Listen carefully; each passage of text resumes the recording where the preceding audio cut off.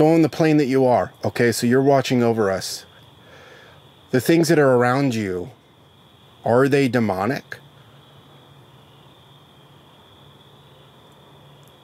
Now, but okay.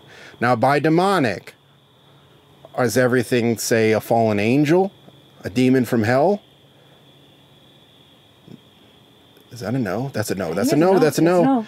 Okay, so what we refer sometimes as demonic, are they just maybe lost, maybe corrupted souls? Shut your mouth. Shut your freaking mouth. Kate, Threatening. Threatening. threatening. Shut up. what? This is. Cr- I'm speechless. Shut up. For real. This is crazy. I've probably said it about 50 times now. Yo, I'm sorry. okay. I can't get over it.